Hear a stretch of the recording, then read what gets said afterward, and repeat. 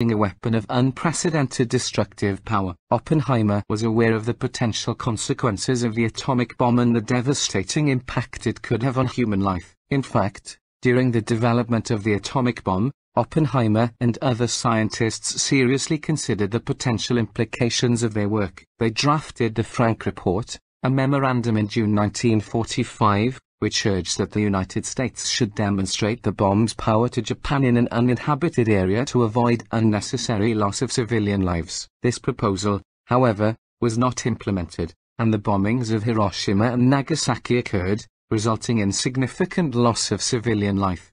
After witnessing the destruction caused by the bombings, Oppenheimer became an advocate for arms control and nuclear disarmament. He recognized the importance of preventing further proliferation of nuclear weapons and sought to promote international cooperation to manage atomic energy for peaceful purposes.